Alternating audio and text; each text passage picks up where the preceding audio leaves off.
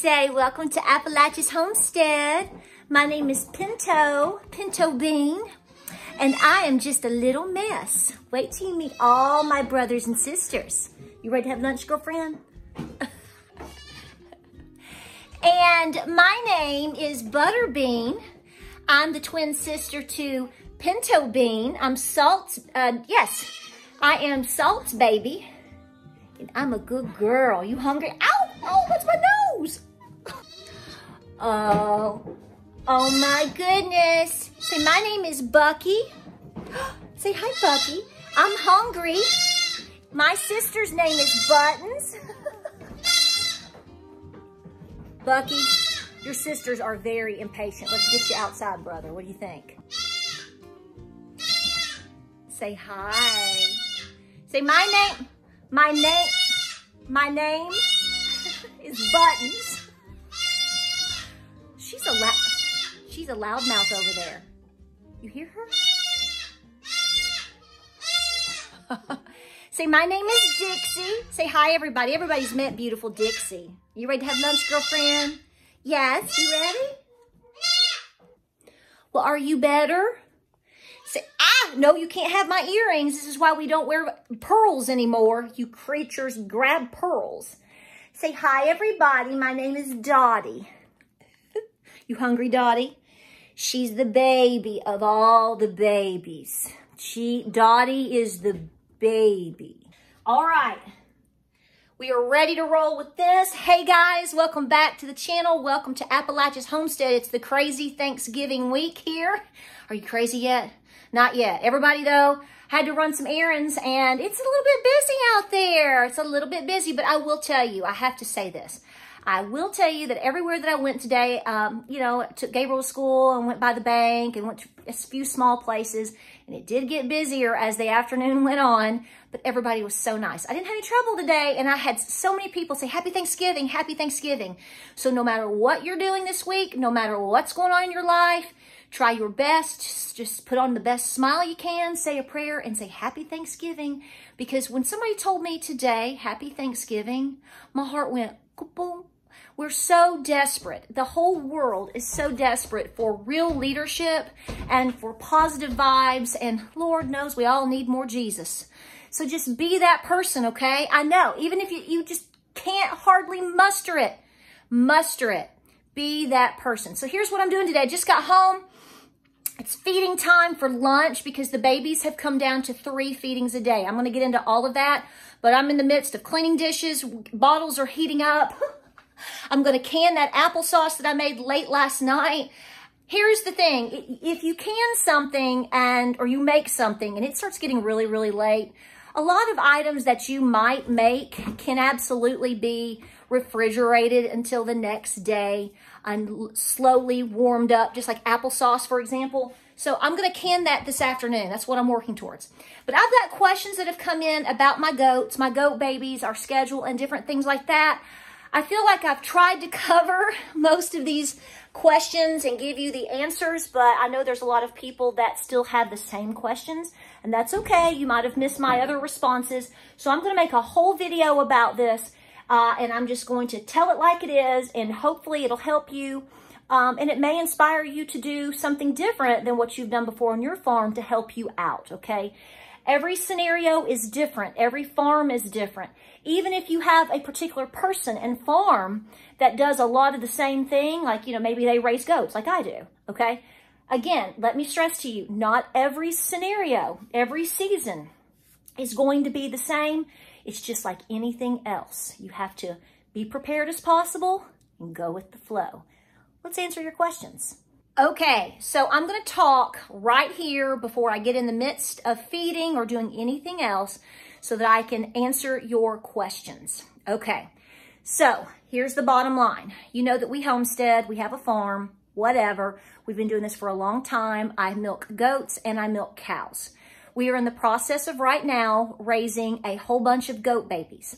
Two weeks ago, I have multiple, multiple videos on this by now, uh, at least several in the last two weeks, showing you the birth of our goats, all the things that we've had to do, the cold weather, etc., etc. But I just want to break this down. I did not pull any of these goats from their mamas because I just wanted to. Can you hear them? They're hungry. I know it's heating up.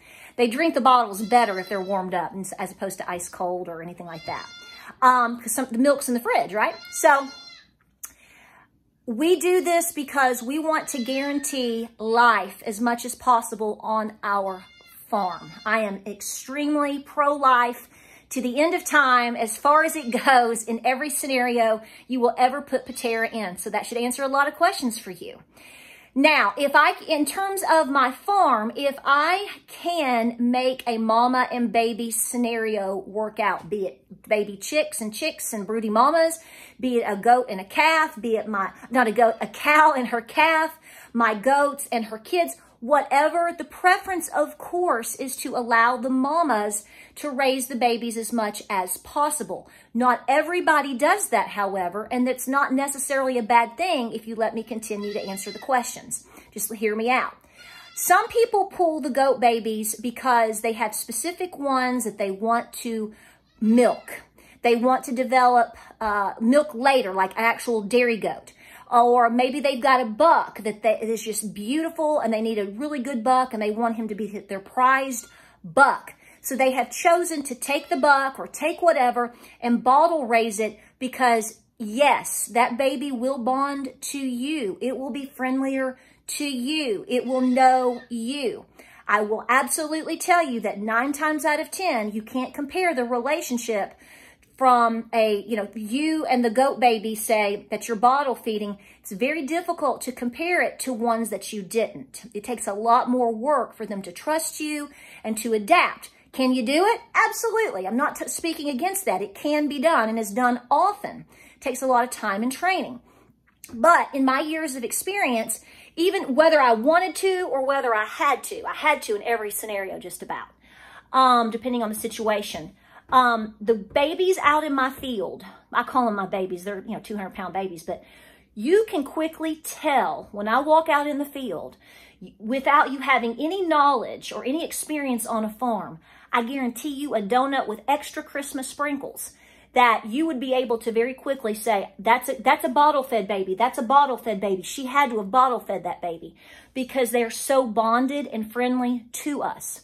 Whereas the ones that were not hand raised, hand fed, hand bottled. They can tend to be more aloof. They can tend to be less cooperative. It's not always that situation, but it does tend to lean that way. So you have to work with them a lot more. That's why you see certain ladies, gentlemen and ladies, they will go ahead and pull the babies and completely bottle raise them. It's by design to create the bond between the farmer and that animal so that they can work with that animal. Um, you're less likely to, down the road to get rid of, I don't say get rid in a bad way, but if you have an animal that's combative, if you have an animal that's destructive, uh, that will not work with you, etc., etc., you should understand that a lot of times people, for many reasons, will sell butcher, slaughter, give away, get, get rid of that problematic animal. So there is a good example of why bottle feeding is good because listen, I've got a 200 pound registered Nubian buck out there and he is fantastic. Rip has never been aggressive to this day. Doesn't mean it can't happen in the future. I bottle raised him literally from day three. He was already being bottle raised because he was rejected from his mother. Um, and I uh, took him from the farm, my friend, and I bottle raised Rip for, for 12 weeks, loved him like I would a puppy. And now he has given me all these precious goat kids. And on top of that, he is probably, he could be one of the friendliest goats we've ever had. And that's saying a lot for an intact, fully grown Nubian buck. It can make all the difference. Okay, they're hitting on the door. They want their bottle, so let's go. So here's the deal. So two, over two weeks ago when we had all of these goat babies, which we knew they would start popping by October 31st, that was the first day, we already prepared ourselves for the fact that we would likely, most likely, just by num sheer numbers alone, probably fall into having a couple of bottle babies. I had old mom, older, not old, but older mamas that have proven themselves over and over. And then I had a couple of new mamas which you have no way of knowing or guessing what they're going to do, okay? Whether they will reject the babies, take the babies, have a bad birthing experience. We saw a little bit of everything this time, but I was already prepared for the fact that I would most likely have at least a set of bottle babies. No, no, go ahead, say hi to everybody. Say, I was busted. Yes, you were. You were busted. You're not supposed to be on the countertop. Okay. she does not like that. Marie has a mind of her own. She's not supposed to be up here. None of them are, but her, she is a rascal and Lee has not helped. They are rascals together. Baby Lee, he's doing good too. So here's the deal. So you know that we had um, 11 girls that went into labor in, within a five-day period. And I have, to this moment, I literally have six babies that I am bottle feeding. Okay, I'm going to have a college son walk in the door here in just a minute and probably interrupt the video too because my cats are going to jump on the counter. I got to feed these goat babies. My husband's calling. Life is happening today. Life is happening. Love me. I love you. Hug me. Is life happening right now? All across the board. Okay, so here's the deal. So I have, what do I have? I have three sets of two goat babies twins, twins, twins that I am bottle feeding. Now, in theory, I should only be bottle feeding the first set of twins that you would have expected to bottle feed because their mama did, I don't want to say the word reject, but that is about as good, that's pretty accurate. I mean, she had them. I think she was traumatized. It's 25 degrees. She wasn't cleaning them. It was pepper. Uh, it was a first, she's a first time mama. She was not a bottle baby by yours truly. So she's a little standoffish and offish, standoffish, uh, a little aloof. And I, I was bracing myself for this type of behavior with her and actually about two more who didn't do it at all. Everybody else did great, okay? Um, but she just didn't, she's to this, still to this moment, like, I don't know what happened to me. I had that moment, I think, a couple of times. Every mother went through that. I'm going through it right now as I'm looking at the dust on my light over here. I mean, you just go, what did I do? right? Now, I have two other sets of twins that the mother, Salt, who I is my top milker right now, she had the most beautiful set of twins. That's Pinto and Butterbean. And I actually left the babies with her for two days. They did not latch to her teats because they are so huge. Then I have another mama, um, Coco, who is another same line, family line. These, these girls are all from the same mamas. Her teats are ginormous. I'm trying to get her to be a good milker right now. But it was the same thing. She popped the babies out. She was loving on them. No latching. You cannot let goat babies just float around on the earth and they're not nursing from their mamas, okay? particularly within the first 24 to 48 hours. Guys, they're going to die. Okay, I'm just going to be blunt with you. So as I've said in previous videos, as I've said over the years, as I'm telling you right now, I am not going to be a person that's going to stand around and go, well, I don't know if they're going to make it or not. She's not latching. And I just leave it alone and it's 25 degrees outside or whatever. And I come to the house and get a good night's sleep to know that I'm going to go up to the barn the next day and have a dying or dead baby goat. I don't do that. I don't know if you watch people that do that or if somebody in your family has that attitude. That's not my business. I don't agree with it. But if I think I try my best to work with the babies and the mamas, try to ensure that they're dry, that they're safe, um, that they're clean, that they've got good bedding, that they're getting the colostrum in the first 24 hours. It's a step-by-step -step process. So I worked really hard with, um, like I said, Pinto and Butterbean for two days. I would milk their mother. I would get the colostrum, etc., etc., and give it to the babies to ensure that they were being fed in a timely fashion, but at the same time, trying to get them to latch to their mother. It failed. And she would love on them and lay with them and bathe them and lick them. It was literally, a it's like a technical problem, okay? If you've ever had a baby, and there's been that situation with human women's. I know women that have had babies and they wanted to breastfeed so unbelievably bad.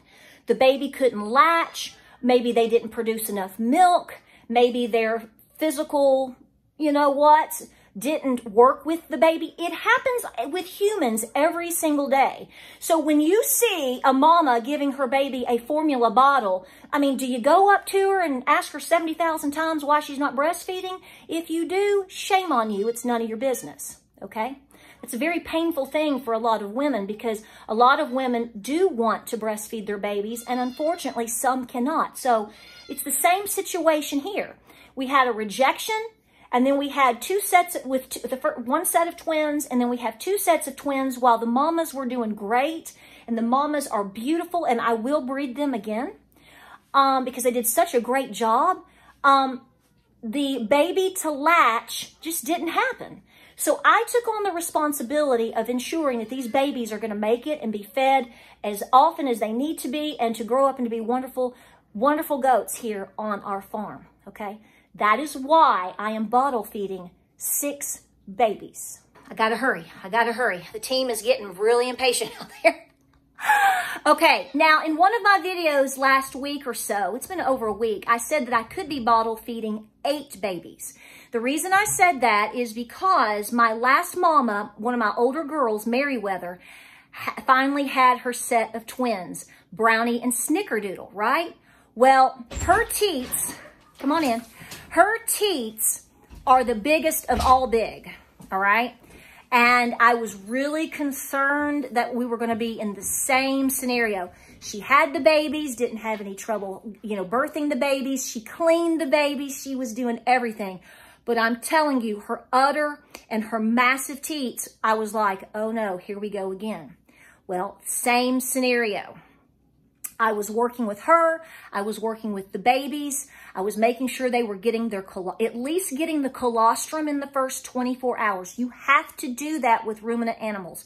Cows, and especially goats, they have to have that colostrum to seal the gut, okay? So even if you're just helping out for the first 24 hours, you have increased their life, uh, the possibility of them living tremendously because the colostrum is so very important.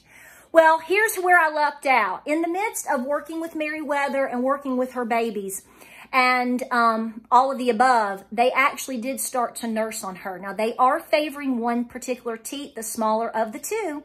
So we're having to work with that and watch that. But see, here's the thing. Meriwether is not a first-time mama. In fact, this is her third or fourth kidding, if you will, okay? So she's had lots of babies in the past. So she knew how to call to them. She knew how to work with them.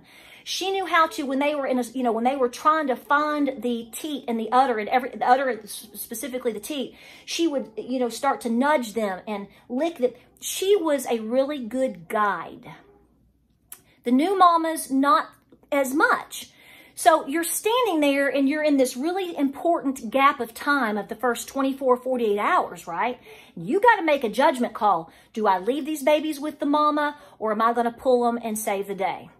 Well, in, in Meriwether's case, we were a close eye on day two, and basically it just worked out because she is such a solid, proven mama that it worked out. Uh, and so the other two, it didn't. So within that time frame, I chose to pull them because, like I said previously, I want to ensure that they will make it.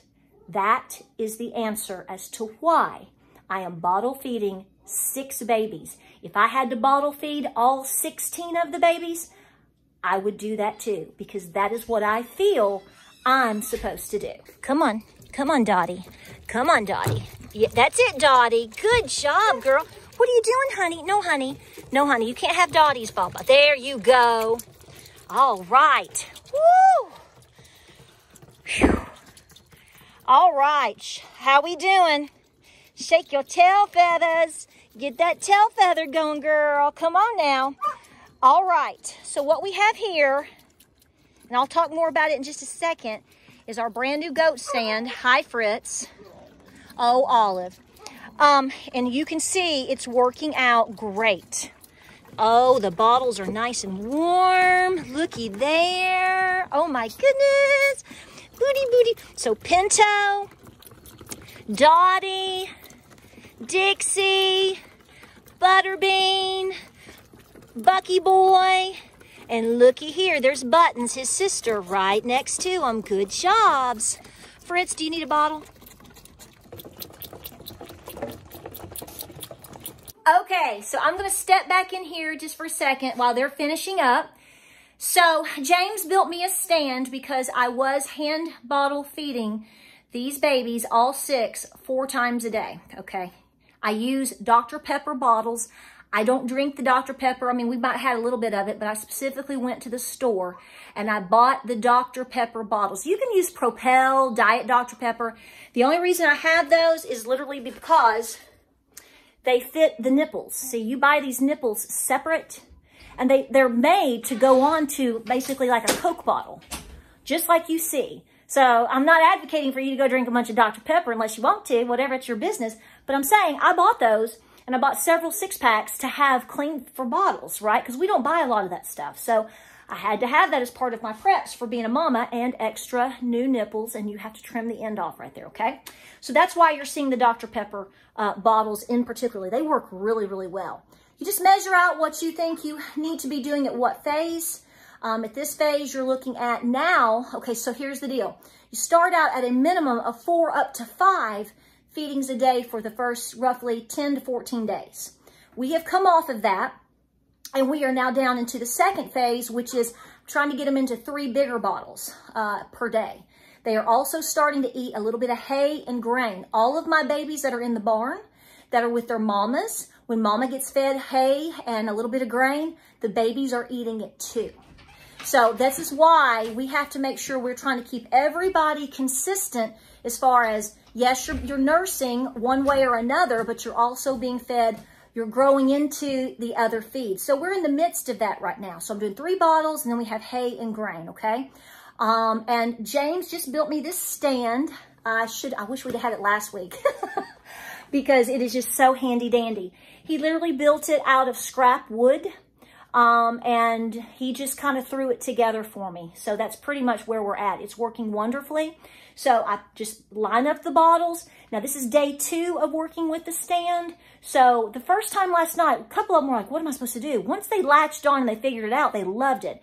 But as, you know, as we press forward from the first couple of days, they're just going to run straight to it because they know exactly what's going to happen. They're going to get their bellies full. Okay. Okay, you somebody spilled a little bit, but that's okay. We're learning. Did you looky there? Uh-huh. Now, some of you suggested that maybe we could put like some wood in between. That's certainly something we could do. Um, it's optional. Some people have, some people do, you know, whatever you want to do. The bottles, though, however, when they start latching on, honey, they're not going to let go of that. They're going to get the full feed. As you can see, everything went just fine right here. But that is something you could work with. We just haven't done it. Probably won't because this is working great anyway. How you doing? Did you get your belly full? Oh, I love the way you're... Uh, wow. Pinto, this is, this is good.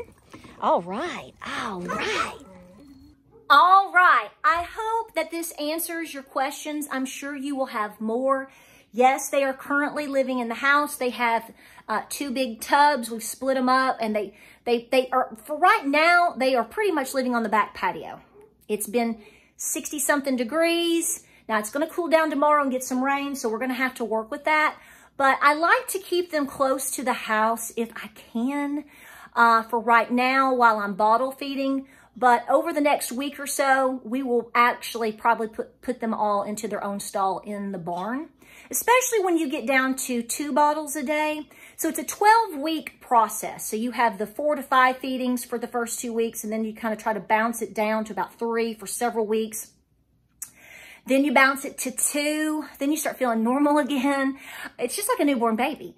And then you'll get down to like the last couple of days will just be one bottle. But I bottle feed my babies to 12 weeks. That is what is recommended. It's best. It really, really is. Some people only do it to eight, each their own, but I have done all of my bottle babies to 12 weeks and I we haven't had a problem. And they've all turned out great and very healthy and very friendly. But you just have to wean it over time, right? You have to wean it over time. You can milk your goats or you can also make, I've got my own homemade formula that a lot of people use. It's whole milk, evaporated milk, and buttermilk. I have a whole video on it, okay? So in, in other words, if you get in a scenario where you have a goat baby and try your best to at least get the colostrum from the mama, if nothing else. And if she's not a good producer or is not cooperative, you can then make your own formula. You don't have to buy those nasty bags of uh, stuff at the store that's like $45 a bag and is a ripoff. They, it just doesn't do the same good. I don't think, and I've worked with both, as your own homemade whole milk, uh, a little bit of evaporated milk and buttermilk. Some people just use whole milk. But I do find that if you can put in a little bit of that buttermilk, I think that their droppings are um, much better. They tend to not um, have any form of, um, well, I'll just say it, diarrhea. I know that's nasty, but they don't have loose stool. you want those little pebbles, you know? So that's part of it. It's just like with anything else. You have to work with what you can do and do what works best for your farm and particularly what works best for the health of those babies, right? And that's what we're doing here at Appalachia's Homestead. I hope you enjoyed the video. We'll have more videos coming your way. If you have questions, let me know. I did make goat cheese last night. I hope to make a video in the near future on that. It's delicious and wonderful because like I said, I am uh, feeding these babies, but I'm also milking as well. So we're trying to just run it all, all at the same time. Hope you have a great Thanksgiving week and uh, we just appreciate you being here. I hope I answered your questions. This will be my final call on answering these questions, okay? I, love y'all, but I mean, seriously, if somebody asked you every day, 12 times a day, what is 2 plus 2? What is 2 plus 2? What You might go, I'm just to make a video on what's 2 plus 2. So that's what I did. All right, guys, love you. Like, subscribe, and share. Hope it helped you out. See you on the next video. Godspeed. Have a great day.